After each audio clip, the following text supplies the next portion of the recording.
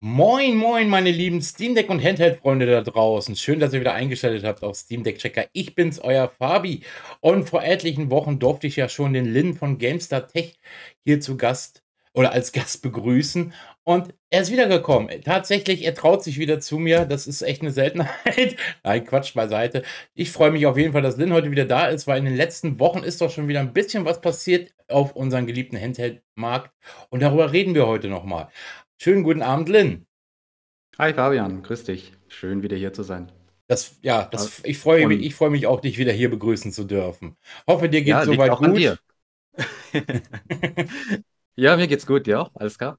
Das freut mich. Also, ja, das Wetter schlägt ja langsam um, Sommer ist vorbei, deswegen, ich sehe schon, du hast schon einen Rollkragenpulli an, ich bin noch ein bisschen weil ich habe schon im Vorgespräch erwähnt, ich hatte eben mit meinem Sohn zwei Stunden Fußball gespielt. Ich bin dementsprechend noch gut vorgeheizt, brauche noch keinen dicken Pulli hier bei mir im Keller. Das läuft soweit. Lynn, was hast du denn seit der vergangenen Zeit so an Spielen gezockt? An oh, ähm, pass auf, ich habe äh, Remnant 2 habe ich mit meinen Freunden gespielt. Ähm, da bin ich immer noch ein bisschen dran, weil da kam jetzt erst ein neues DLC raus. Äh, und äh, ich selber, für mich selber spiele gerade äh, Like a Dragon Infinite Wealth. Das ist praktisch der neueste Ableger der Yakuza-Reihe. Also früher hieß es Yakuza, jetzt heißt es Like a Dragon. Genau. Ja, cool. Ansonsten das Übliche. Also ab und zu spiele ich hier mal äh, immer noch äh, Tekken Fighting Games. Gerade probiere ich meine, wie sagt man, meine Finger in Guilty Gear aus. Ähm, oh. Ja, Guilty Gear Strive. Und ja, ansonsten ich glaube, das war's, ja. ja ich Und hatte, du? Also ich hatte jetzt zuletzt äh, meine Zeit sehr, als wo du sagst, was Fighting Games. Ich hatte auch mal ein paar Abende ver, verdaddelt, wenn man es mal so nennen möchte, hier mit der ähm, Compilation von Capcom, äh, Marvel vs. Capcom. Gab es ja mhm. so eine große Compilation, hat auch mal wieder recht Spaß gemacht, weil eins meiner absoluten Lieblings-Fighting-Games war ähm, X-Men Children of the Atom. Das hatte ich damals auf dem Sega Saturn gezockt und das Spiel bleibt mir immer wieder im Bewusstsein, weil das Spiel hatte ich damals gebraucht gekauft gehabt auf dem Flohmarkt und das hatte so einen Kratzer auf der CD und ich musste das Spiel immer, musste immer einen sogenannten Laufwerk-Swap machen, ähm, um das Spiel starten zu können. Also an einer bestimmten Stelle äh, Klappe auf, den Laser verschieben, wieder runter, damit ich das Spiel starten konnte. Das habe ich so eine Viertelstunde versucht und das war damals noch ohne Internet, ne? Das war vor dem Krieg, wie ich immer so schön zu sagen pflegte. Das war so ein Tipp, den hatte man sich dann aus irgendwelchen Sega-Magazinen oder weiß der Geier, was es damals gab, so rausgefischt gehabt. Also deswegen, das Spiel muss ich unbedingt mal wieder spielen. Und ansonsten begeistert mich nach wie vor Cyberpunk, spiele ich sehr, sehr viel. Until Dawn ähm, habe ich jetzt endlich mal durchgespielt im ersten Mal in meinem Leben. Ja, gut, äh, doch nicht so viele überlebt im ersten Durchlauf, wie ich geplant hatte. Also da muss ich definitiv nochmal bei. Und ähm, was mich jeden Abend immer so, sag ich mal, eine Viertelstunde, eine halbe Stunde immer wieder momentan begeistert, ist Lucky Tower Ultimate. Kenne ich gar nicht. Was ist das? Das ist, das ist, also das gab es schon mal vor zehn Jahren oder so, Lucky Tower. Du bist da so ein Typ, das ist so ein bisschen auch humoristisch. Du bist halt in der obersten Spitze von einem Turm. Das ist halt ein Roguelike quasi und du kämpfst mhm. dich durch das Level, musst unten rauskommen am Turm und das verändert sich halt immer wieder und ist halt auch total crazy. Also es hat einen sehr cartoonartigen Style, eher so, so wie man so kennt, diese ähm, satirischen Zeitungscartoons, weißt du, diese Einbilder-Dinger, also so vom mhm. Zeichenstil her. Und ja, absolut schwarzer Humor und äh, macht einfach Spaß, weil immer wieder stirbst du auf die abstrusesten Arten und Weisen. Und ich glaube, das ist auch vom deutschen Entwickler, das Spiel. Ähm, glaube, kosten 10 oder so bei Steam und das macht einfach echt Laune. Also kann ich echt Jetzt ist Little Tower. Ja? Little Tower? Lucky Tower. Äh, Lucky Tower, okay, muss ich mir mal Tower anschauen. Ultimate. Ähm, ja. Die hatten, ich, oh, jetzt komme ich nicht auf den Namen, welches Spiel sie davor gemacht hatten, die Entwickler. Da muss ich jetzt echt mal ganz, ganz schnell zu äh, Google greifen, weil die hatten davor ein Spiel gemacht, der Entwickler. Das war jetzt nicht so der Burner, aber das Spiel hatte doch durchaus, durchaus Aufmerksamkeit äh, bekommen, weil es ähm, so äh, speziell war. Jetzt muss mhm. ich echt gerade mal gucken, wie der Entwickler hieß, beziehungsweise das Spiel. Da müssen wir mal ganz kurz einen kleinen äh, Ab äh, Exkurs machen, nennen wir es mal so. Und zwar, die hatten das Spiel gemacht, das ist das Studio Seufz. Und die hatten davor das Spiel The Longing gemacht. Ach, das kenne ich. Genau. Genau, ja. und so diesen Zeichenstil muss man sich da auch ungefähr vorstellen, aber mit einem absolut schwarzen Humor. Also, es ist ein super Spiel, Lucky Tower Ultimate. Kann ich nur empfehlen.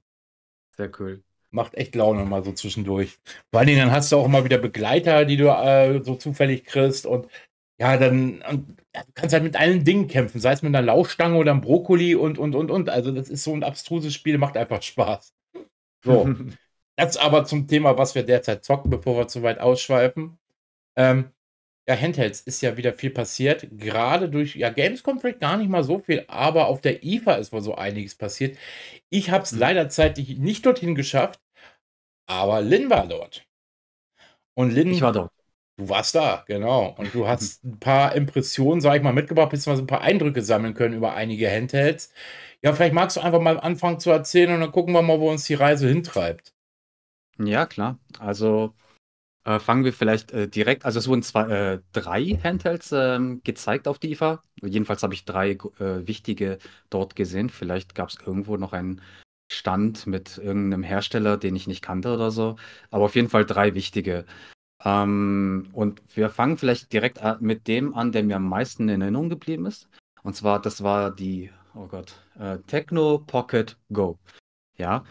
Ähm, das Besondere an diesem Handheld ist, also es ist auch wie alle anderen Handhelds, die jetzt gerade auf dem Markt sind, ein tragbarer PC. Also da, da steckt äh, äh, ein Ryzen 7 8840 Schlag mich tot, ja. U oder so drin. Ja. Ähm, also sprich von der Leistung her sehr ähnlich wie Asus ROG Ally, Lenovo Legion Go und so weiter. Ähm, selbe äh, GPU, selbe Grafikeinheit da drin. Ähm, Windows 11 ist drauf. Aber das Besondere an diesem äh, Gerät ist, äh, der gesamte PC steckt in einem Controller. Und da ist kein Bildschirm verbaut. Gut, jetzt fragt man sich natürlich, okay, wie kann das eine Handheld-Konsole sein ohne einen Bildschirm? Der Clou an dem Ding ist, ähm, an diesen Controller steckst du eine Videobrille an, die im Lieferumfang äh, mit enthalten ist, über USB-C.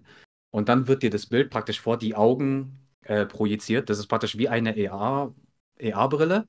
Ähm, die Displaygröße, die man so wahrnimmt, ist auf jeden Fall Richtung dreistellig. Ähm, ja, ich glaube, ich hatte gelesen von 215 Zoll. Das klingt ja, natürlich genau. schon ordentlich. Also, selbst wenn es 100 Zoll entsprechen sollte, ist ja natürlich auch schon eine Hausnummer. Ja, also ich, ich weiß nicht, ob wirklich, ob es auf 215 Zoll kommt. Es war auf jeden Fall sehr groß, ähm, groß genug, sag ich mal. Äh, die Qualität war auch, ähm, ja, also die Farben waren toll, die Schärfe war gut. Ich meine, das sind Mikro-OLED-Bildschirme, die sind gut auf jeden Fall. Ja, und dann hast du halt keinen Bis äh, Bildschirm, du, du blickst durch diese Brille, hast den Controller in der Hand und so zockst du dann praktisch. Ähm, ja, das fand ich Wie ist das denn so? vom Konzept her. Äh, wie ist das denn so? Ich kenne das, ich kenn das nur von VR-Brillen bisher, die ich mal so ein bisschen benutzt habe. So eine Videobrille an sich habe ich noch nie ausprobiert.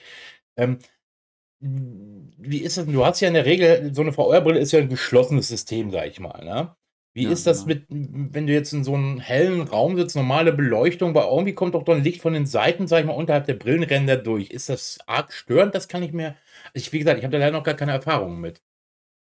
Ähm, es kommt schon durch. Also es ist mhm. nicht so ein abschließendes Erlebnis wie bei einer VR-Brille, wie du mhm. sagst. Ähm, es aber es stört nicht so arg, wie man äh, glauben mag. Ähm, wenn du in deinen Peripherbereich blickst, also du schaust so praktisch ein bisschen nach unten, mhm. dann merkst du schon, okay, da, da, da sind Lücken, da kommt ein bisschen mhm. Licht durch. Aber diese äh, Micro-OLED-Panels, die in diesen Brillen äh, verbaut sind, ähm, ich sag mal, die, die sind gut und hell genug, ähm, dass dich das nicht stört. Also äh, ich denke mal, wenn diese Panels deutlich, sagen wir mal, dunkler wären, dann, ich glaube, dann würde es vielleicht ein bisschen mehr stören. Ja. Aber so richtig äh, Probleme mit Streulicht hast du nicht wirklich. Ähm, ja, du kannst es dir so vorstellen, vom Aussehen her, äh, wie als wärst du in einem dunklen Raum. Mhm. So sieht das aus. Also du siehst praktisch sehr viel schwarz. In der Mitte ist dann praktisch die, äh, das, das, die Displayfläche. Und es sieht ein bisschen aus, als hättest du einen Kinosaal für dich selbst. Also noch so ein bisschen Licht von der Seite her, wie man zum Beispiel Kinosaal ja. kennt. Ah, okay. Ja, genau, genau, ja, ich genau. muss sowas unbedingt mal ausprobieren, definitiv. Gerade, weil es sie jetzt ja auch gibt, wie ich es gelesen habe, mit Dioptrieneinstellungen und sowas. Mhm, ähm, ja, genau. Weil ich will nicht, ähm, das ist ja bei einigen Brillen, ich hatte da jetzt im Vorfeld äh, schon mal ein bisschen recherchiert gehabt. Ne? Es gibt dann halt Brillen, dann kannst du dir Linsen machen lassen vom Optiker und und und mit so mhm. einsetzen und da habe ich ja schon gar keinen Bock drauf. Ähm, Also, da muss ich mich definitiv noch mal mit beschäftigen. Wie ist das denn bei dieser Brille dann mit den Texten, sage ich mal, wenn du jetzt zum Beispiel ich glaube, du hattest mal im Vorgespräch erwähnt, du hattest Forza Horizon oder so angespielt, Mhm. ähm, wenn ich mich jetzt nicht täusche. Oder generell mit Texten, also Bildschirmanzeigen, ist das alles top lesbar oder wird das dann schon schwierig? Ich hatte, ähm also, die haben dort nur Forza Horizon Mhm. gezeigt. Ähm, ich habe durch die Brille auch die Menüs bedient, erinnere ich mich daran. Und ich hatte da keine Probleme auf jeden Fall. Okay, krass. Also, wie gesagt Aber ich glaube, das das kann von Person zu Person variieren. Ähm, also, diese Brille, die die mir dort gezeigt haben, ähm, dort konntest du Dioptrien einstellen. Das war dann sehr, sehr praktisch. Dann konnte ich das praktisch auf meine Augen anpassen. Ähm, ich hatte davor die Lenovo Legion Glasses. Das sind praktisch, ähm ist auch eine Videobrille, Ja. ähm, die man zum Beispiel an den Legion Go anschließen kann. Und, äh, weil diese Videobrillen über USB-C angeschlossen werden, kann man sie zum Beispiel auch an einen Laptop anschließen, der, ähm, Video Out über USB-C unterstützt. Und ich habe es mir als Experiment genommen, einfach mal einen Tag lang damit zu arbeiten. Also, Ja. äh, Texte zu tippen und so weiter. Und, äh, alles, was in der Mitte von deinem Blickfeld ist, das ist scharf. Alles, was so drumherum war, ähm, da hattest du so eine so 'ne verschwommene Vignette Ja. so 'n bisschen und auch so 'n bisschen chromatische Aberration, also so so Mhm. Die du an den Texten gesehen Ja, hast. das ist Also natürlich schlecht, ja. ja, das war nicht so, auf jeden Klingt klingt Fall. schon fast wie so 'n Gleitsichtbrilleneffekt, so sage ich mal. Ja, ja. Also, wenn du bei Games Chromatic Aberration anschaltest mit Verzerrung, Mhm. äh, äh, und so weiter, so ähnlich sieht das Okay, aus. ja, das das muss man Ähm mögen, ne? Also, ich das ist so eins dieser Effekte, die ich gerne mal ausschalte, kommt aber 'n bisschen aufs Spiel drauf an. Ähm, Ja. genau. Ähm, wie ist das? Ich frage jetzt auch mal für die Zuschauer. Ich, äh stelle ich mich mal 'n bisschen so so doof.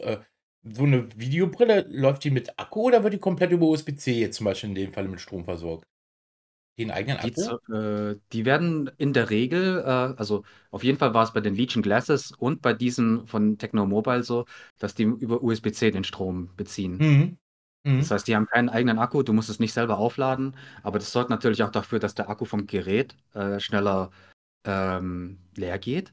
Allerdings würde ich, ähm, bezweifeln, ob das jetzt schlechter wäre für die Akkulaufzeit als ein eingebautes großes 7 Zoll Display. Ja, also, wenn du jetzt Weißt das du? 7 das ist ja das Schöne bei Windows, äh, Handhelds, sage ich mal, du kannst ja sagen: „Ich will beide Displays, internes und externes Display anhaben.“ Ich nutze das manchmal für Aufnahmen. Oder du sagst natürlich nur das Externe, was ja grad bei Dockingstation ja auch Sinn macht. Und bei 'ner Videobrille wird's erst recht Sinn machen, weil du siehst den Handheld ja eh nicht mehr vor Augen.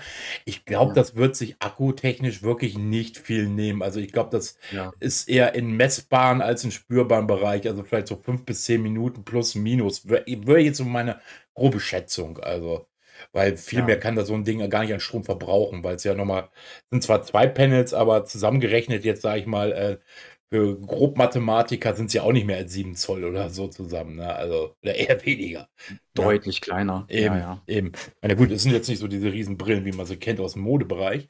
Ähm, genau. Mhm. Ähm, ansonsten, ähm, wie wie wie siehst hattest du eigentlich die Möglichkeit, mal diese diese Apple VR-Brille auszuprobieren? Du meinst die Vision Pro? Die Vision Pro, genau. Oh, ne, ne, habe ich nicht. Da hätte mich Ähm jetzt mal wäre jetzt schön gewesen, weil so weil da ist ja der Preis ja wirklich heiß, ne? Ähm, Ja. da da wieder man sagt, ja, okay, äh, ja, so also, fürs Spielen den Unterschied würde ich jetzt nicht merken. Das wäre jetzt mal interessant gewesen. Aber ich habe das Ding auch noch nicht in die Hände bekommen. Ich hätte es ja schon Angst, fallen zu lassen oder so. Da da brauchst du ja 'ne gute Haftpflicht bei dem Gerät. Ähm, und ich finde den Preis, der ist halt sowieso nicht massenmarkttaug tauglich. Das muss man ja sagen bei der Vision Pro. Ja. Ähm, aber dann kommt ja die Tecno Pocket Te wie hieß sie? Tecno Go. Ja. Pocket Go? Ja, genau. Ja, es und das ist noch nicht mal der schlimmste Name von den Handhelds, wie ich finde, die Ne, auf der noch. vertreten waren. Ja, die wird ja preislich dann aber schon gut und gerne bei über 1.000 € knapp wohl liegen, ne? Mhm. Also, da war ein, äh, Mitarbeiter von Tecno da, der mir das alles gezeigt hat, äh, damit ich die Brille auch ausprobieren kann und so weiter. Ich habe ihn erstens gefragt: „Kommt das Gerät nach Deutschland?“ Und zweitens: „Was wird das dann ungefähr kosten?“ Ähm, er hat mir für beide Fragen schon 'ne Antwort geben können, aber nichts Konkretes. Also, es soll nach Deutschland kommen, ja. Mhm. Ähm, sie planen Ende dieses Jahr oder Anfang nächstes Jahr. Äh, und es soll auf jeden Fall vierstellig kosten. Das heißt, ja, also, äh, ich schätze mal 1.000 bis 1.100 €. Ähm, man kann sich das Ganze so vorstellen, du kaufst dir einen, ähm, einen Handheld-PC, die kosten ja um die 800 Euro und dann haust du da noch eine Videobrille drauf, Ja. dann kommst du bei 1100 Euro raus. Also, ja. Ja, du hattest, glaube ich, auch schon mal, wie du schon sagtest, 'ne, äh, die die Lenovo Glasses ausprobiert gehabt, Mhm. als auch jetzt diese und bestimmt hattest du auch noch mal 1, 2 andere Videobrillen, äh, äh, im Test, sage ich mal. Ähm, weil grad diese Kombination aus Handheld und Brille und dann 1.000 Euro 'ne gute Videobrille liegst ja im Schnitt eigentlich auch schon so bei 500, 600 Euro, würde ich jetzt mal so grob anpeilen. Ist die denn von der Qualität her so, dass man sagen kann, es wäre dann inklusive Handheld für 1.000 Euro 'n Top-Angebot oder du sagst: „Na ja, dafür ist die Brille aber halt nicht so gut“ oder so, weißt du? Das wie ist da so dein also, dein Ersteindruck? Hm, also, ich finde ich äh, das Gerät ist cool, auf jeden Mhm. Fall. Der PC steckt in 'nem Controller drin, Ja. dann hast du diese Videobrille, die du übrigens auch mit anderen Geräten verwenden kannst, nicht nur mit diesem, äh äh, mit dem Handheld. Ähm, 1.100 Euro finde ich zu hoch gegriffen, auch wenn ich den Preis nachvollziehen kann. Ja, klar. Ähm, weil du könntest für dieses Geld könntest du auch einfach, keine Ahnung, 'nen Lenovo Legion Go kaufen, 'ne Asus ROG Ally X, ähm, für weniger Geld. Ja. Oh, und dann kannst du noch 'ne Videobrille dazu kaufen. Da kommst du ungefähr auf denselben Preis, hast aber 'nen Handheld mit 'nem eingebauten Display und auch, äh, eventuell mit besseren Specs. Ja. Also, dieser dieser Tecno Pocket Go hat zum Beispiel nur 'nen Akku mit 50 Wattstunden, Ja. ähm, wenn ich's mich recht erinnere. Und die ROG Ally X, äh, übertrumpft das ja jetzt schon. Ja. Das heißt, du gehst Kompromisse ein, damit du dieses diese Einzigartigkeit hast. Mhm. Ähm, aber vom von der Preis-Leistung her ist das, glaube ich, nicht empfehlenswert. Also, wenn ich wenn wenn jemand in meinem Freundeskreis sagen will: „Hey, ich möchte mir 'n Handheld kaufen“, würde ich mir wahrscheinlich äh, würde ich wahrscheinlich nicht zu diesem Tecno Pocket Go raten, wenn er bei 1.100 Euro landen Ja. sollte. Aber die Brille würdest du sagen was wäre die wenn du jetzt die Brille einzeln betrachten würdest, was wäre dann also, jetzt preislich, wo du sagen würdest, das wäre 'n Preis für die Brille an sich okay? Wäre das 400 Euro, 500 Euro oder was würdest du so jetzt so erfahrungstechnisch sagen? Ich würde sagen, um die 400 bis 500. Ja. Ähm, in dem Preis-Range sind auch die ist auch die Konkurrenz, äh, Ja. X-Real, Rocket, Ja. äh, Ja, und wenn du und so dann, wie du wie du schon sagtest, wenn du dann mal auch so 'n Angebot abgreifst von Legion Go für 600 Euro oder so plus 'ne VR-Brille, dann hast du die bessere Kombi. Also, das wird 'n Mhm. Nischengerät bleiben. Äh, vielleicht Ja. entwickelt sich's ja preislich irgendwann noch mal 'n bisschen besser, aber selbst dann sehe ich das Gerät sehr, sehr kritisch. Aber ich ich bewundere wieder mal, das ist wieder 'ne etwas, äh, sage ich mal, was anderes, was Neues, 'ne Mhm. Innovation. Weil das ist etwas, was ich aufm Handheld-Markt, ähm, momentan so 'n bisschen vermisse, kann man vielleicht nachher noch mal so kurz drüber sprechen. Also, das Gerät mal gucken, wann's rauskommt. Ähm, ich schätze mal, vielleicht weiß nicht, hast du siehst du noch 'ne Chance dieses Jahr zum Weihnachtsgeschäft? Keine Ahnung. Ich weiß Okay. es echt nicht. Also, ma mal schauen. Tecno Mobile, die verkaufen ja noch nicht mal so viele in Deutschland. Also, Ja. die machen ja normalerweise Handys und, äh, verkaufen sie größtenteils, glaube ich, in Afrika und Asien. Ja, ähm, Ähm, wann werden hier sich 'n Handheld kommt, ja. Ja gut, die werden sich dann wahrscheinlich auch erst mal 'n bisschen Vertriebsstrukturen oder Vertriebspartner suchen müssen et cetera, ne? Das Wahrscheinlich. ist ja auch die Geschichte. Ja. Okay, Tecno Pocket Go, den Namen muss ich mir jetzt langsam merken. Ähm, Mhm. den haben wir dann jetzt so mal so weit abgehakt. Welches Gerät hast du denn dir noch angucken dürfen auf der IFA? Ja, und zwar habe ich mir auch noch anschauen können, die die Namen, ähm, Acer jetzt richtig rum, Ni Nitro Blaze 7. Richtig. Ja, ich weiß nicht, immer immer Blaze Nitro oder Nitro Blaze. Ja, ich Nitro das das Problem, ja. Branding, Blaze ist das Produkt, genau. Äh, 7 ist die Displaygröße. So, äh, Acer Nitro Blaze 7. Wir haben das ist auch wieder das ist der erste Gaming-Handheld von Acer. Äh, Ja. ich bin ich bin fast schon davon ausgegangen, dass die ganzen großen PC-Hardware-Hersteller nach und nach einsteigen Ja. werden. Äh, hat mich jetzt nicht groß überrascht, aber war auf jeden Fall trotzdem cool, dass die jetzt ein, äh, eigenes Gerät haben. Ähm, rein auf dem Papier, äh, hat es nicht sehr viele krasse Alleinstellungsmerkmale auf jeden Fall. Es ist 'n 7 Zoll Gaming-Handheld, äh, Windows 11, äh, ein Ryzen 8840U. Ähm, das ist praktisch derselbe, der auch im Zotac Zone steckt oder auch in der, äh, Tecno Pocket, äh, Go. Ähm was haben wir noch? Äh, ein 144 Hertz Display auf 7 Zoll. Das gibt es, äh, soweit ich weiß, noch nicht, also auf 7 Zoll jedenfalls. Ich Der glaube, das Go hat ja 120 abgewandert. maximal, ne, glaube ich. Ja, Ja, ja. ja, Mhm. genau. Ähm, 144 Hertz mit, ähm, mit FreeSync Premium. Ähm, ein, ich glaube, es war ein 50 Wattstunden Akku. Ja, ja. Ähm, und sonst, äh, ja, sonst fällt mir gerade ehrlich gesagt die, ich glaube, das waren jetzt auch das Wichtigste. Ich glaube, das waren die Alleinstellungsmerkmale sozusagen. Ähm, also ich war auf jeden Fall neugierig, den selbst auszuprobieren und mir den mal anzuschauen. Ähm, aber so richtig ähm, beeindruckt war ich jetzt vorher nicht also von dem, was ich auf dem Papier gelesen habe. Ähm, als ich den dann dort äh, ausprobieren durfte, ähm, hat sich das minimal gewandelt, äh, gewandelt weil äh, diese, dieser Handheld, dieser Acer Nitro Play 7, der ist gefühlt sehr viel, sehr, sehr kompakt und handlich. Ähm, es hat mich tatsächlich ein bisschen an eine PlayStation Vita erinnert. Natürlich 7 Zoll ist das Ding, es ist schon größer als die PlayStation Vita. Aber es ist wirklich ähm, ein bisschen handlicher und kompakter als zum Beispiel ein Rock Ally, äh, als ein Zotac Zone, als ein Legion Go sowieso. Also es war wirklich eine kompakte Konsole. Ah, und äh, was ich vergessen habe zu erwähnen, 2 Terabyte Speicher hat das Ding auch. Ähm, also es hat schon, es kann schon für sich sprechen. Also mhm. erstens 2 mhm. Terabyte Speicher, du musst nicht äh, äh den Speicher upgraden, der ist schon sehr, sehr groß. Ja. Es hat diesen 144 Hertz FreeSync Premium äh, Display äh, und es hat einen relativ kompakten Formfaktor. Mhm. Das sind jetzt keine mega, äh, wie heißt das? Äh, Alleinstellungsmerkmale oder so, ja. Ja, aber es kommt ganz darauf an, wie viel der kosten wird. Und dann kann man, wird, wird sich zeigen, ob die ähm, sich einen Platz auf dem Markt erobern. Äh, ja, ich glaube, Acer ist ja sowieso, sag ich mal, nicht so ganz so high range wie ein Lenovo oder so. Also mein Tipp wäre irgendwo bei den Specs jetzt, damit sie eine reelle Chance haben, 599, 699 und dann ist aber auch Ende der mhm. Fahnenstange. Ansonsten haben sie da auch keinen Stich. Ja, das wird schwierig. Also denn inzwischen ist da echt viel Konkurrenz da Ja. und die Leute kaufen sich nicht zwei Handhelds. Sie kaufen sich einen und den Rest ignorieren sie. Und äh, äh, also denn, außer wir halt. Ich wollte gerade sagen, es sei denn, du betreibst einen Handheld-Kanal, dann weißt du schon teilweise gar nicht mehr, wohin mit den Dingern.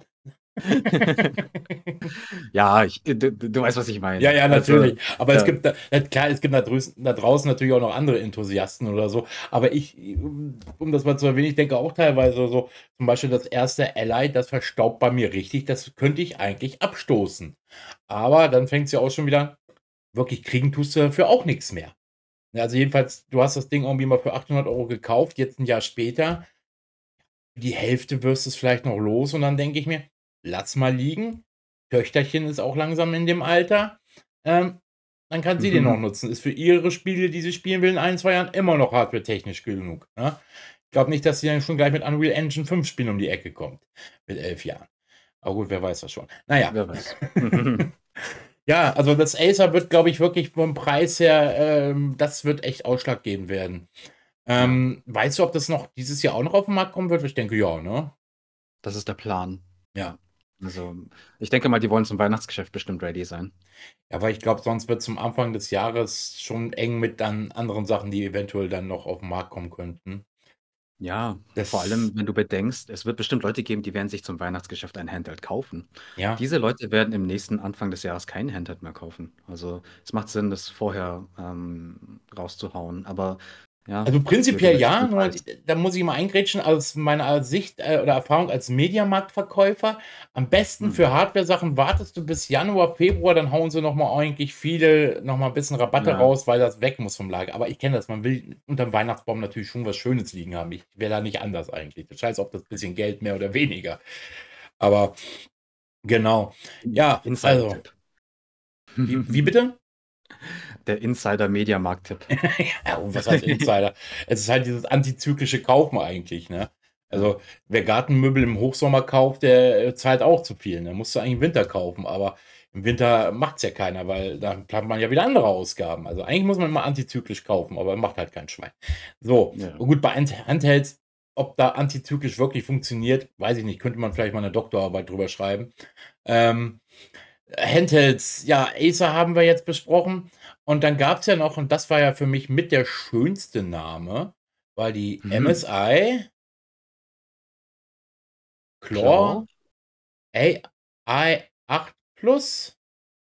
War das richtig? 8 AI Plus. AI Plus. Ich habe um die 8 noch im Kopf gehabt. Ich glaube, das war die Displaygröße nur. ja, ja, ja, ja, das ist die Displaygröße wieder. Also MSI Claw 8 AI Plus. Ja. Äh, pass auf, äh, die erste MSI Claw, die war nicht besonders. Ähm, äh, es war schwierig, sie zu empfehlen, auf jeden Fall. Es war kein schlechtes Gerät, aber für einen Preis von 850 ja. Euro hat es zu wenig besser gemacht als die Konkurrenz, wenn überhaupt tatsächlich. Äh, deswegen sehr schwierig zu empfehlen. Warum sollte man 850 Euro dafür ausgeben, wenn man für 50 Euro mehr die LAX bekommt oder für weniger den Legion Go? Ja. Oder man greift zum ersten Rock Ally. Ähm, genau, und die MSI Claw 8 AI Plus, die hingegen, ich glaube, die hat das Potenzial, äh, den Markt so richtig aufzurütteln. Also ich, ähm, ich habe das Gerät auch ausprobieren können bei der IFA und ähm, anders als beim Acer Nitro Blaze 7 ähm, war ich auch schon im Vorfeld, hatte ich ein, ein bisschen so eine Vorfreude auf jeden Fall, das Gerät auszuprobieren, weil auf dem Papier äh, macht es auch was her. Ja. Es ist ja. einer der ersten ähm, äh, Handhelds mit einem Intel äh, Lunar Lake. Den Luna. ja, den neuen Lunar Lake, der Core 200V, glaube ich, heißt der. Genau, genau. Also ja. von, von der Generation auf jeden Fall. Ich glaube, drin steckt der 258V, glaube ich. Mhm. Ähm, also auf jeden Fall, die sind ja äußerst effizient. Ähm, und zweitens hat es auch einen 80 Wattstunden Akku. Das dann gepaart halt mit dem deutlich effizienteren Prozessor verspricht da auf jeden Fall einiges. Ja. Ja, ich habe zum Beispiel jetzt Vergleichstests gelesen gehabt, äh, gerade im 15 Watt Bereich, was das dann noch teilweise um die 28 Frames zum Beispiel bei Cyberpunk oder so hat. Und wenn ich dann mhm. überlege, 15 Watt bei 80 Wattstunden Akku, das macht dann ja richtig Spaß. Ne? Also wenn das von der, von der, mhm. von der Performance her dann noch echt passt, ne? das wäre richtig ein Knüller. Ja. Das und dazu kommt noch, ähm, ich, einer, mein Lieblingshandheld ist weiterhin der Legion Go, vor allem ja. wegen dem großen Display. Und diese MSI Claw äh, 8 AI Plus, wie der Name sagt, 8, ja. hat ein 8 Zoll Display. Also es ist gut nochmal ein Stück größer als beim, äh, bei den Asus äh, und äh, bei den anderen Handhelds, ja. die alle bei 7 Zoll sind. 8 Zoll macht schon einen Unterschied und beim Spielen auf jeden Fall, finde ich. Also ich bin sehr gespannt. Also ich finde, ich finde zum Zocken an sich, ich merke es halt immer wieder beim LRX, was ich ja momentan am liebsten nutze, dürfte an manchen Stellen größer sein dann greife ich lieber auch gerne mal bei Rollenspielen immer wieder gern zum ähm, Legion Go wegen den Texten und so. Also Legion Go ist für mich die optimale Größe. Dürfte auch nicht mehr sein, aber viel weniger finde ich dann schon fast wieder störend. Ne? Mhm. Ich muss aber auch, also ich muss zugeben, für mich ist manchmal der Legion Go nicht unbedingt zu groß, aber zu schwer. Ja, das stimmt. Der also, ist schon also schwer. Das, ja, wobei die LRX mit, mit, mit dem Akku, das, das tut sich auch nicht viel, aber dafür ist sie irgendwie ein bisschen kompakter. Ja, ja. Diese Claw ähm, äh, ADI Plus äh, hatte ich ein bisschen in der Hand und ähm, so rein vom ersten Eindruck her, ich fand sie auf jeden Fall sehr komfortabel zu halten. Ähm, wir haben, was lief drauf? Hi-Fi Rush lief drauf, mhm. das habe ich da ein bisschen gespielt. Ähm, also ich bin auf jeden Fall sehr, sehr ähm, gespannt darauf, ja. was MSI da rausholen wird. Ja, vor allen äh, Dingen, ich glaube, wo sie darauf achten müssen, ist, und das war ja das, das Verhängnis von der MSI Core, dass sie die Treiber am Anfang nicht vernünftig im Griff hatten, sag ich mal, oder die Performance halt zum Release nicht passte.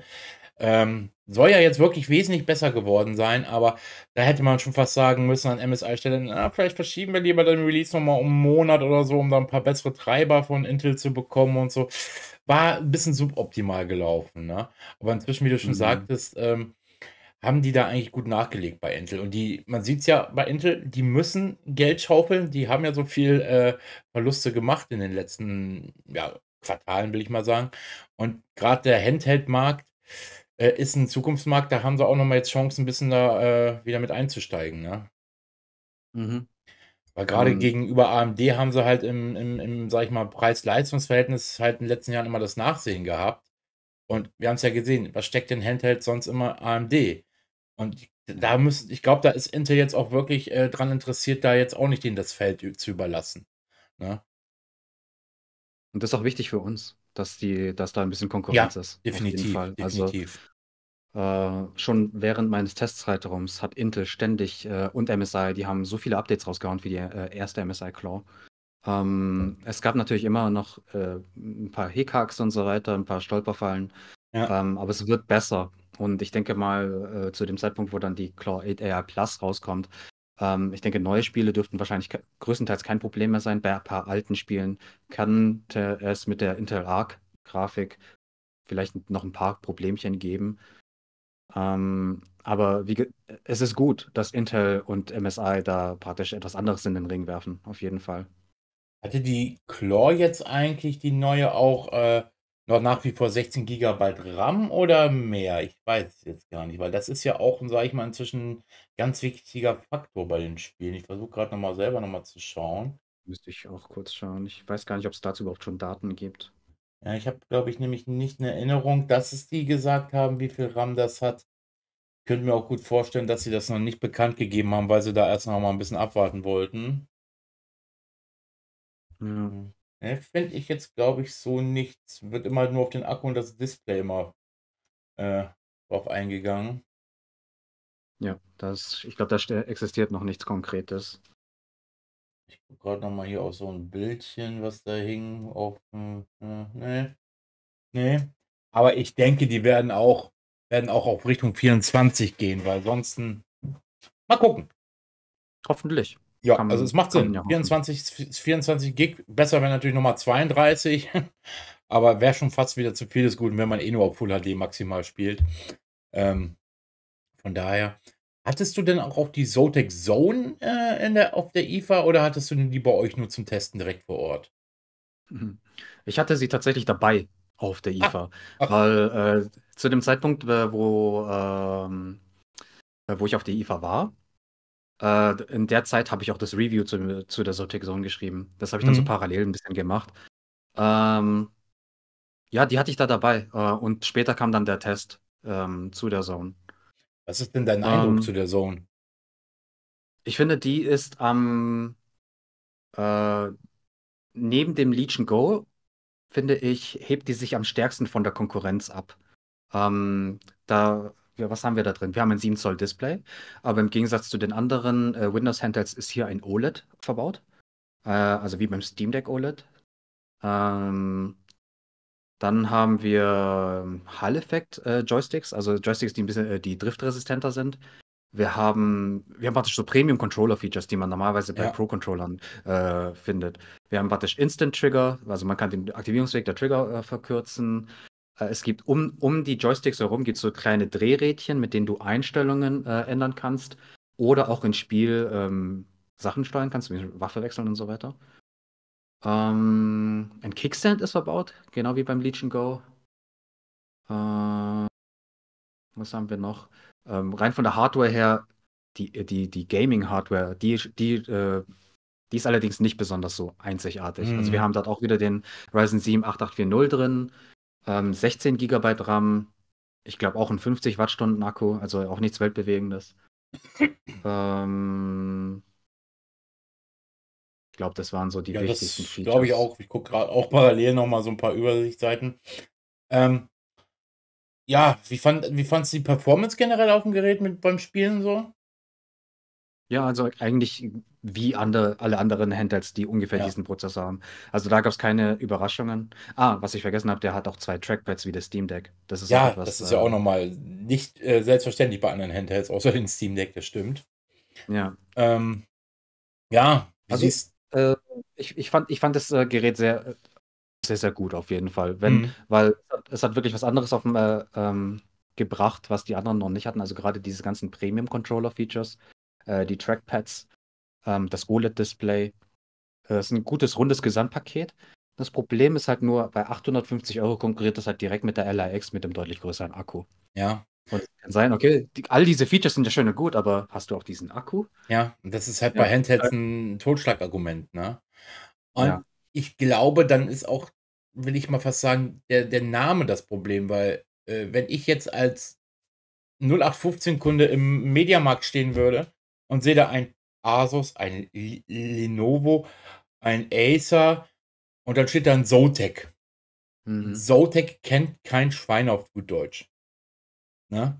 da fängt es ja schon an. Das ist, das ist, glaube ich, ein Riesenproblem. Das ist ein Name, den kennt keiner. Das klingt, um es jetzt mal ein bisschen harsch zu sagen, wie der typische Vertreter von AliExpress oder so. Weißt du, ich will es jetzt mal ein bisschen provokativ sagen, aber den kennt halt keiner, den Hersteller. Das ist halt also ein riesen Nachteil. In der PC-Building-Community, äh, ähm, da, da, kennt man den. Da, das ist ein Name ne, für Grafikkarten und ja. Hardware und so weiter. Ähm, aber im Mainstream, ja, so Ja. wie du sagst, also wenn du in 'n Mediamarkt reingehst und du fragst da irgendwie, keine Ahnung, zufällig zehn Personen, werden wahrscheinlich zehn von zehn Ja. sagen, sie kennen Zotac nicht. Ja, Also meine MSI macht ja auch äh, MSI macht ja zwar auch Laptops und so, aber ich glaube, von der Markenbekanntheit her würde ich die auch eher hinter Acer, Lenovo und Asus hinten anstellen. MSI zum Beispiel und Zotac käme halt ganz zum Schluss. Ich glaube, selbst ein Mhm. Valve würde eher erkannt werden. Spätestens, wenn, wenn man den Namen Steam liest, davon eh mal abgesehen. Aber ja, man kennt den Namen halt nicht so. Deswegen sehe ich den, sehe ich die Chancen für das Gerät auf dem Markt verschwindend gering. Auch eher mhm. bei den Nerds oder Enthusiasten. Und wie du schon sagtest, der Preis. Wir liegen hier so bei knapp 800 Euro, 850 Euro, je nachdem. Ja.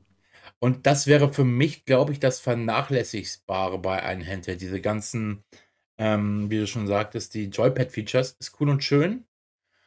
Aber wenn ich sowas brauche, dann notfalls nehme ich einen Pro-Controller und spiele am Fernseher. Unterwegs brauche ich nicht zwingend diese ganzen Pro-Elemente, sage ich mal. Also so geht es mir jedenfalls.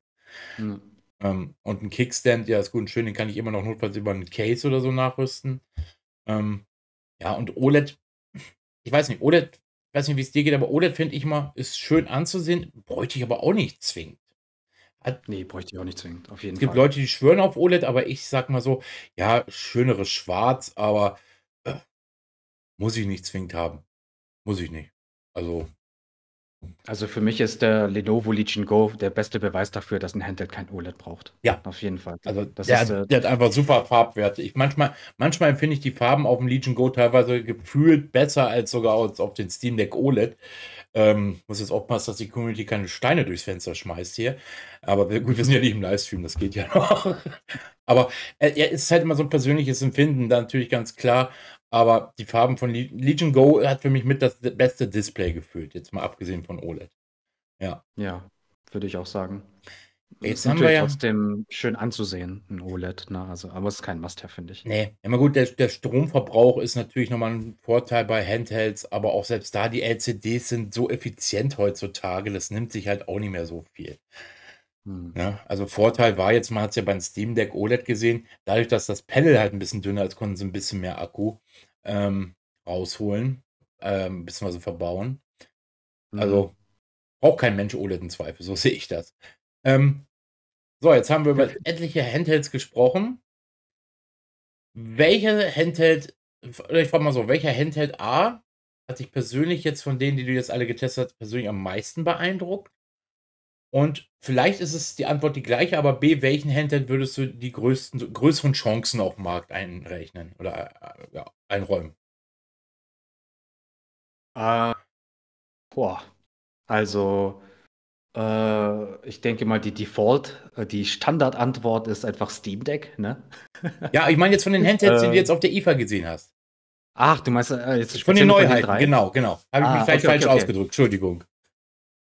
Ähm, am, am ehesten in Erinnerung geblieben ist mir auf jeden Fall die Techno Pocket Go, aber einfach, weil das halt so ein, ein noch ein sehr einzigartiges Konzept mhm. ist.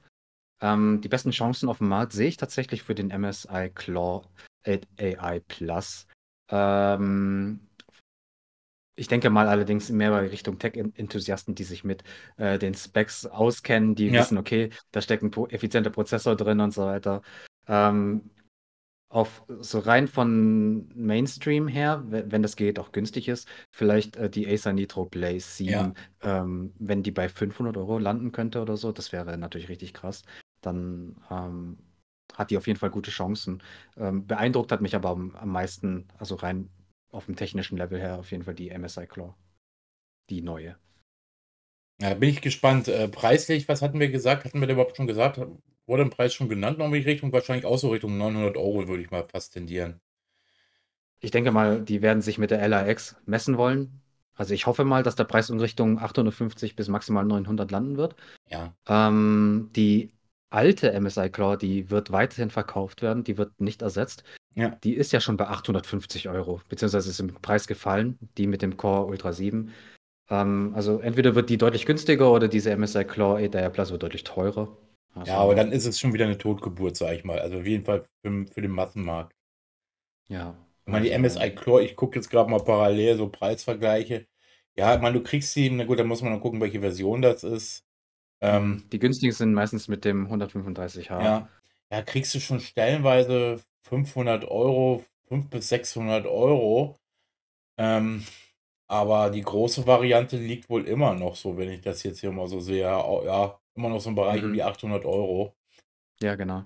Also entweder machen sie da eine krasse Preissenkung oder ähm, das andere Gerät wird um die 1000 Euro und dann wird es halt wie Blei im Regal liegen, ich sage mal für die meisten. Weil der mhm. Preis mhm. ist, spielt halt immer noch eine große Rolle bei den Kunden. Ja. Die größte wahrscheinlich.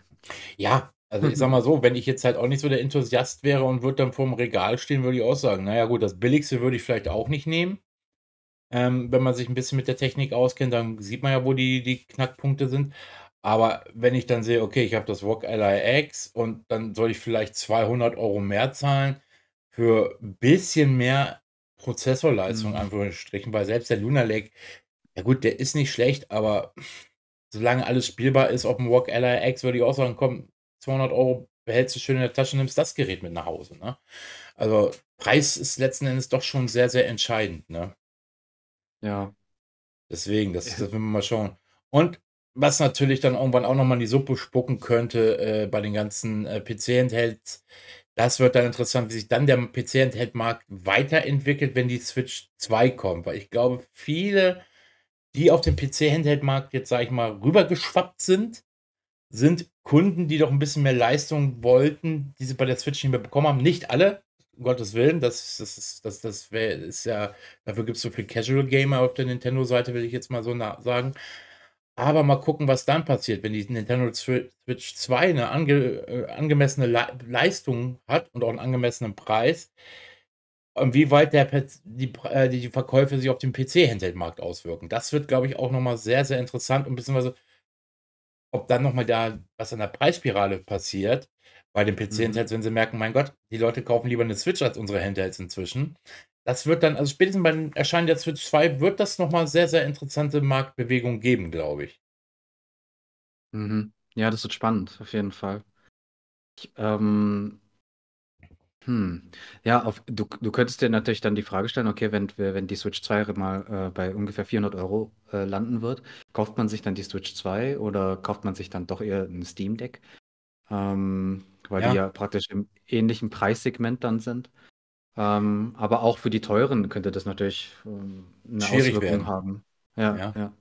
Es kommt dann immer, wie gesagt, an, äh, wenn ich, weil ich sag mal so, wenn ich jetzt sehen würde als Kunde, okay, die Switch 2 kostet 400 Euro, oh, das neueste Call of Duty läuft auch drauf, sage ich jetzt mal, ne?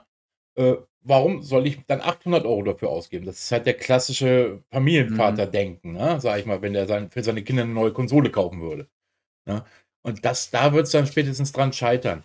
Ähm, den meisten Leuten ist halt nicht zu vermitteln, dann nach Motto, ja, nimm doch ein Steam Deck, nimm das und das, weil da kannst du ja eh alles drauf spielen. Äh, Im Steam Sale kriegst du die Spiele halt nochmal günstiger als im Nintendo eShop oder als auf den Cartridges und und und. Also das wird aber trotz alledem wird es noch sehr, sehr spannend auf dem Handheld-Markt, davon mal abgesehen. Genau. Ja.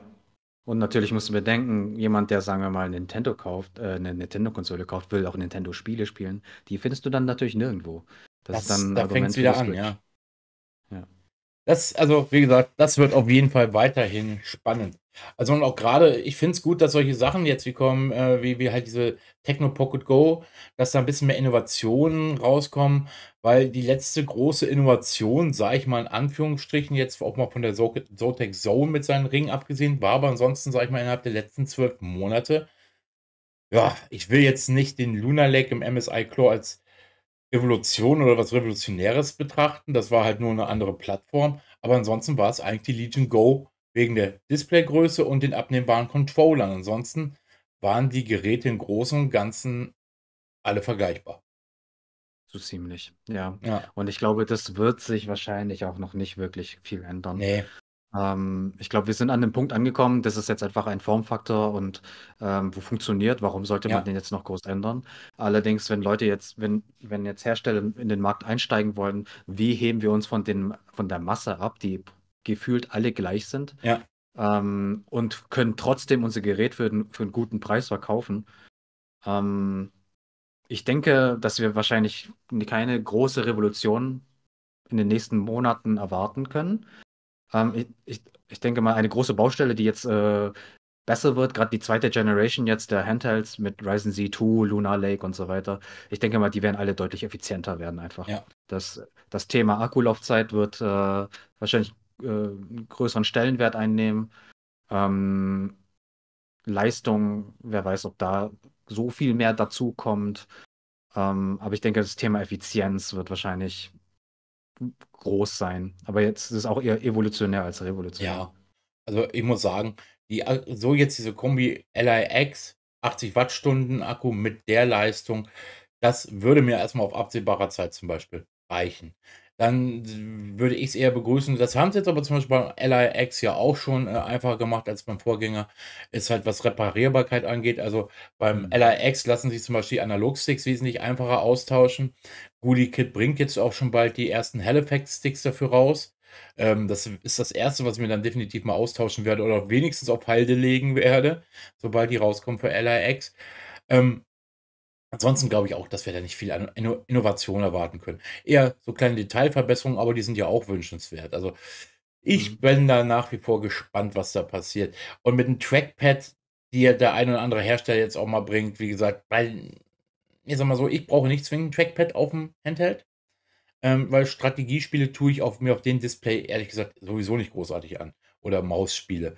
Und die Mausspiele, wo die Spiele mal so Point-and-Click-Adventures, die kann man auch mal notfalls gut über Analogstick steuern. Also wie gesagt, aber das ist ja halt immer wieder das unterschiedliche ähm, äh, Spielerverhalten oder Spielertyp, der da eine Rolle spielt. Aber zum Beispiel Trackpads sind für mich kein Totschlagargument für ein Handheld.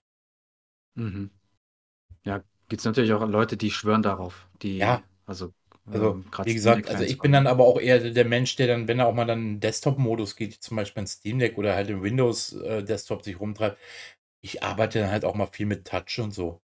Ne? Lässt sich ja auch schnell machen. Wenn du machst du bei Windows, machst du die Skalierung ein bisschen höher, damit du wirklich jeden auch treffen kannst, jedes Icon in Systemsteuerung oder sowas. Und dann geht das auch super. Ne? Es, man muss nur Wege und Mittel haben, definitiv. Mhm. So, ich muss mal gerade mal gucken hier, wie unsere Uhr aussieht, damit wir uns nicht wieder total verrennen. Ähm, Bin schon dabei. sind schon dabei. Ja, aber ich, ich finde es ja auch immer wieder interessant, mit dir darüber zu reden, gerade weil du, du ja, ich wollte schon sagen, sitzt an der Quelle, aber äh, kommst da halt als Tech-Redakteur re- wesentlich einfacher mal an Geräte ran und ähm, das ist dann halt auch mal sehr, sehr, sehr interessant, da diese Sichtweise mitzubekommen. Ähm, Mhm. Genau, hast du denn sonst noch ein Thema, was du gerne nochmal anschneiden würdest? So, so ein paar Minuten haben wir ja noch, sag ich mal.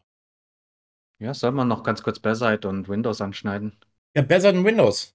Hatten wir ja auch mal kurz drüber gesprochen. Ja, ähm, Blizzard und Windows, da gibt es ja auch mal, sag ich mal, so kleine, ja, nicht Glaubenskriege. Das ist wie SteamOS gegen Windows. Ähm, hattest du denn schon mal Blizzard auf dem Ally oder, oder auf dem Legion Go ausprobiert?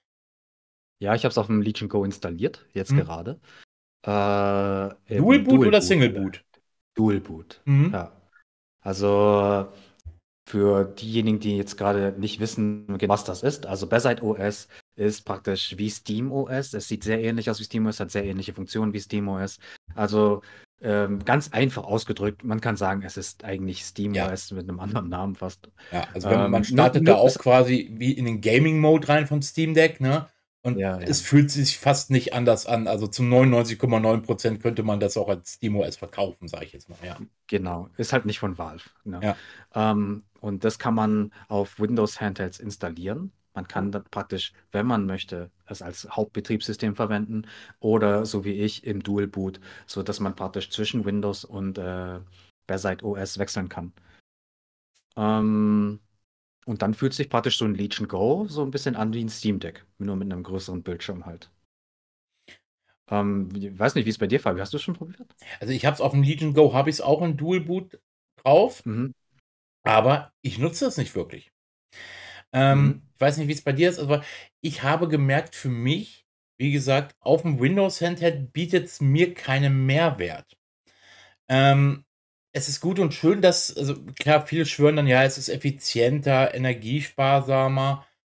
Ähm, mag alles sein, aber hm, ich weiß nicht, ich habe es jetzt, also ehrlich gesagt, seit drei, vier Wochen habe ich Blizzard nicht mehr geupdatet auf, oder vielleicht sogar schon zwei Monate, müsste ich jetzt lügen, habe ich Blizzard nicht mehr genutzt auf dem Legion Go. Aber man hat es mhm. gerade damals hat man schon gemerkt, okay, es läuft noch nicht unter, von der Unterstützung her alles rund, sag ich mal, so was die Hardware angeht, sei es irgendwie ähm, Display Refresh Rate oder sonstige Geschichten. Da war noch nicht alles hundertprozentig implementiert und das hat mich schon mal ein bisschen genervt. Und wie gesagt, ich habe den Vorteil nicht erkannt, wenn ich eh schon mit Windows alles spielen kann und bei dann spätestens bei Blizzard kommen ja wieder Beschränkungen, sei es nur Anti-Cheat oder sowas. Ne? Mhm. Ich habe den Vorteil für mich nicht erkannt. Wie ist mit dir?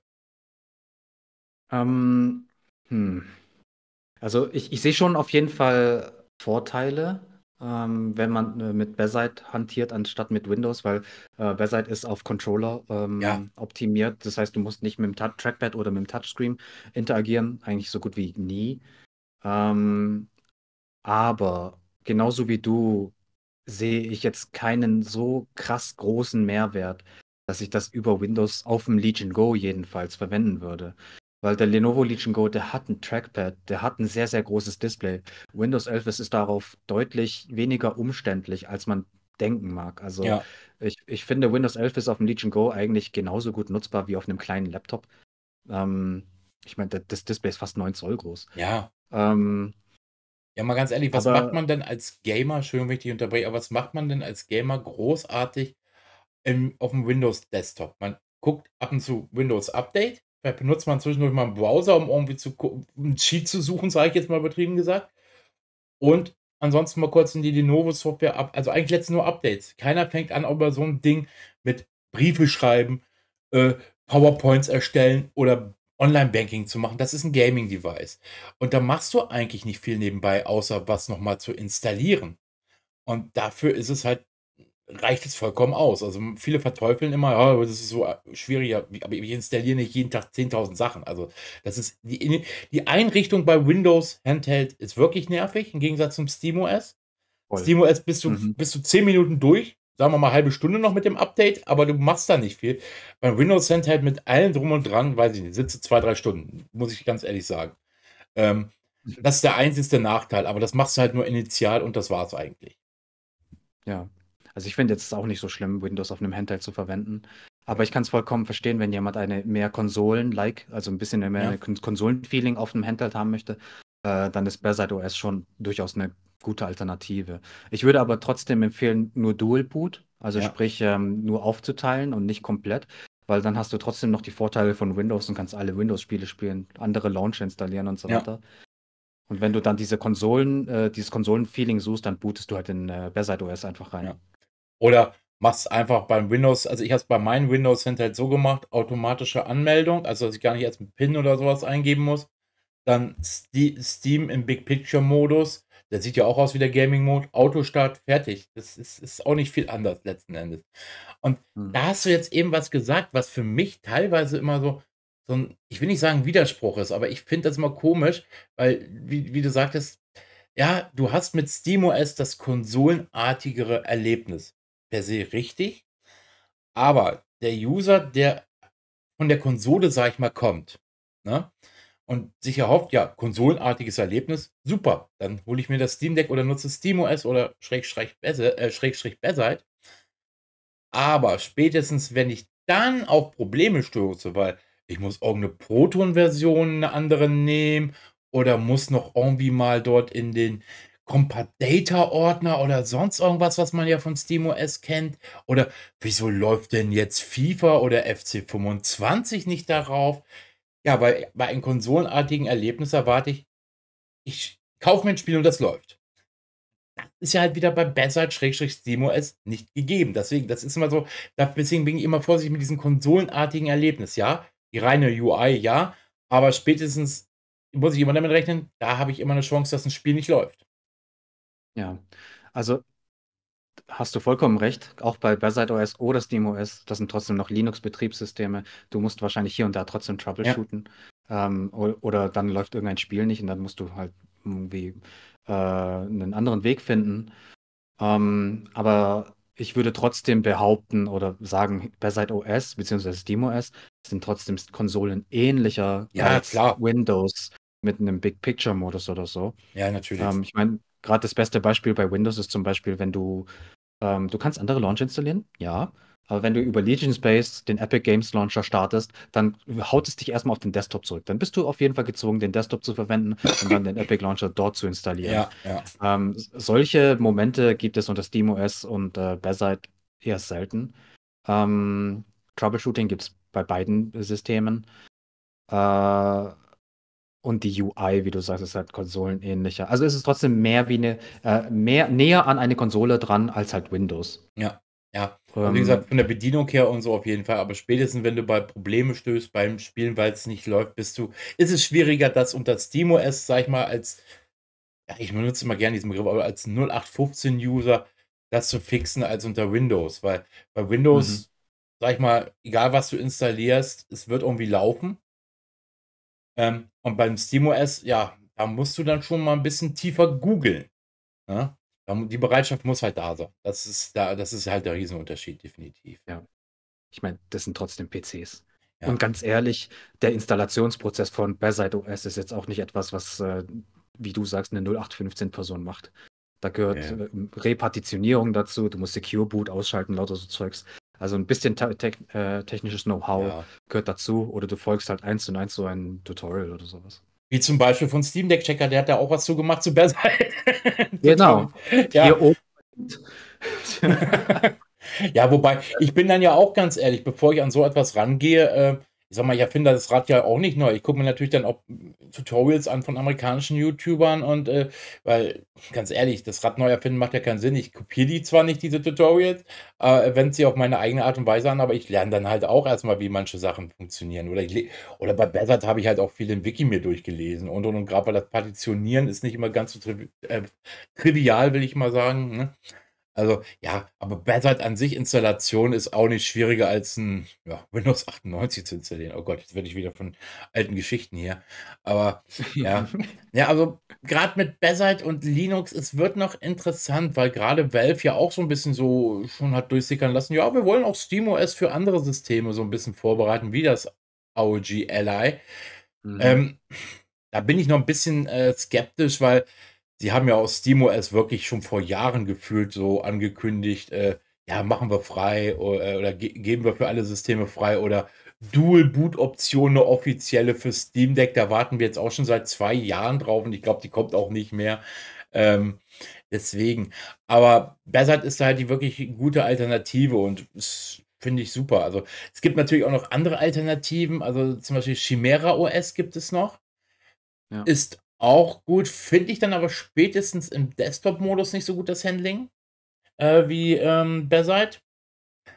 Und ansonsten gibt es halt noch so ein paar andere kleinere Distries, aber Bezier finde ich ist eigentlich das beste Rundum-Paket, wenn man noch mal ein bisschen auf Linux-Ebene da booten äh, und Dual-Boot betreiben will. Ja. Müsste ich selber noch ausprobieren. Ich habe bisher nur Bezier getestet. Ja, also ähm, Bezier läufst du eigentlich mit am besten Nobara. derzeit, finde ich. Ja, also, ich habe auf jeden Fall keine Probleme ja. damit. Das wirkt sehr, sehr polished. Ja. Ähm, gut, eine Sache, doch, eine Sache gibt es, falls ihr, äh, falls jemand den, bei den Zuschauern das auch selber ausprobieren will. Ähm, unter Bezier kannst du ja den Handheld einfach während dem Spiel ausmachen und dann später wieder anmachen, an derselben Stelle weitermachen. Ähm, das funktioniert größtenteils gut, ähm, aber ich habe da ab und zu einen Bug, dass die CPU nach dem Aufwecken runtertaktet und dann geht die Framerate halt flöten. Und dann muss ich das Spiel neu starten. Das passiert bei mir immer wieder mal. Vielleicht wird das noch gefixt oder so, aber ja, das ist etwas, was man vielleicht bedenken sollte. Ja, das ist eigentlich nochmal ein ganz guter Punkt, äh, den du gerade nochmal so ansprichst, weil da hatte ich, das hatte ich letztens von so einem GameStar-Tech-Redakteur mal was gelesen, Artikel, dass man doch besser bei Handsets den Ruhezustand aktivieren sollte. Ähm, oh, wer hat das geschrieben? Ja, weiß ich nicht. Muss ein, muss ein Genie gewesen sein. Und, ähm, ich habe es ehrlich gesagt jetzt aus Faulheit noch nicht gemacht, aber wenn ich jetzt in den Ruhezustand wechsle, das verbessert diese Problematik aber nicht, oder? Während des Spiels? Nee. Also bei Windows stürzen dann immer wieder noch Spiele ab, wenn du Ja. dann in den Ruhezustand gehst. Äh, es spart auf jeden Fall Akku, weil dann der Rahmen nicht mehr mit Energie Richtig. versorgt werden muss. Ja, vor allen Dingen die Ähm, Wahrscheinlichkeit, dass ja. das Gerät also, ich habe es ja grad beim Ally oder so hatten wir schon mal als Thema, dass dann keine Ahnung, du kommst kurz gegen Trigger gefühlt und das Gerät geht wieder an oder so. Äh, Mhm. Ähm, das ist beim Ruhezustand definitiv ja nicht ganz so krass dann, ähm, dass es auf jede äußere Einwirkung, sage ich mal, reagiert. Ähm, macht auf jeden Fall Sinn, definitiv. Ja, wenn da Windows oder Microsoft dann noch mal was vernünftig nachpatchen würde für ihr Windows-System, das wäre das wäre 'ne Offenbarung. Ja. Definitiv. Ähm, weil das ist das Einzige, was mich auch echt nervt. Also, ich weiß immer, okay, wenn du dein Ally oder dein Go in den Ruhezustand oder so oder Standby schicken willst, safen, safen, safen. Ohne Safe Game mache ich da nix, weil sonst ärgere ich mich schwarz, wenn das Spiel dann doch wieder crasht. Ja. Ja, das ist 'n Riesenfeature von SteamOS und so. Das haben sie sich gut abgeguckt, weil das war ja auch für mich das Totschlagargument damals, überhaupt 'ne Switch zu kaufen, dieses Feature. Ja, Ja. und da funktioniert es ja tadellos. Ja, Das ein ist Steam Deck, sage ich mal, in in 90 von 100 Fällen. Also, Ja. Steam Deck gibt's auch manchmal einen oder anderen Crash oder so, aber das ist dann eher dem Spiel als dem System geschuldet. Also, von daher, das Feature ist schon genial. Mhm. Da gibt's nix Besseres. Also, das muss Windows auf jeden Fall in Hand in 'n Griff kriegen. Aber ich denke, spätestens, wenn sie mal ihren Xbox-Handheld irgendwann rausbringen, der wird irgendwann kommen, bin ich fest von überzeugt, dann werden die das machen müssen. Definitiv. Das werden die auf jeden Fall bringen. Ja, ähm Lynn, glaubst du, dieses Jahr kommen noch 'n paar Handhelds um die Ecke, die uns überraschen oder eher weniger? Ähm, glauben. Ja. Äh, pa pass auf, äh, wir haben noch kein Alienware, ein Dell Alienware, äh, würde vielleicht noch fehlen. Ähm, was gibt's denn da noch so da draußen? Hm, Xbox-Handheld hast du schon angesprochen, aber ich glaube nicht, dass der jetzt schon bald kommen könnte. Ich Ne. glaube, das ist Zukunftsmusik. Ähm Ja, sonst gibt's da nicht mehr viele große, die, sage ich mal also klar, ähm, aus'm asiatischen Markt wird's dann auch mal wieder so einige geben, GPD und so, die immer wieder mit neuen oder One X und wie sie alle heißen und um Mhm. um die Ecke kommen. Aber ich glaube, von den Großen gibt's da wirklich nicht mehr viele, die jetzt da noch überraschen könnten. Überlege auch grade, aber von den großen Herstellern, ne, Ja, warte mal ab. Ich meine, Tecno Mobile war vorher auch nur mit Handys bekannt und jetzt machen die plötzlich 'nen Handheld. Vielleicht kommt Apple jetzt mit 'nem Handheld. Ja, also das das das ist das ist schon, glaube ich das ist könnte man auf jeden Fall mal in einer der nächsten Sendungen dann aufgreifen, weil ich glaube, wenn Apple in den Markt einsteigen würde, könnte es noch mal richtig rumsen, wenn sie nicht grad den Vision Pro Preis ansetzen würden. Aber weil man muss immer wieder sagen, Apple von der Haptik und von der Bedienung her waren die immer gut und wenn die 'n Handheld rausbringen würden, auch so im 1.000 € Bereich mit entsprechender vor allen Dingen, die haben ihre ARM-Architektur super im Griff. Mhm. Ähm, das könnte grade in Sachen Effizienz n noch mal 'n ganz anderes Thema werden. Wie gesagt, da könnte man schon, glaube ich, noch mal 'ne ganze Sendung drüber füllen. Aber wenn die auf 'n Markt kommen würden, dann würde es noch mal richtig lustig werden. Ja, siehst du, dann hoffen wir mal auf den, äh, äh, wie wie wird's heißen? iGame? iGame, iDeck, iDeck, iDeck. iDeck. Das klingt wie Eidechse. iDeck. iDeck, iClaw, iAlly, man weiß es nicht, wie man das Ding dann nennen könnte. Hauptsache, es kommt 'n Ei drinne vor, ne? Oh Mann, ey. Ich sehe schon wieder, die Zeit rennt wieder im Fluge, Lynn. Mhm. Aber es war wie immer wieder schön mit dir. Ach ja. Ebenso. Macht Also, immer Spaß. wir werden das definitiv wieder überholen. Spätestens spätestens, wenn Apple oder Nintendo was ankündigt, dann dann stehe ich bei Lynn sowieso wieder in äh, im Discord in der Warteschleife und lass klingeln: „Hier, wir müssen reden.“ Ähm, dann werden wir uns auf jeden Fall noch mal wieder zusammenfinden. Also, es hat mir wieder sehr, sehr viel Spaß gemacht, Lynn.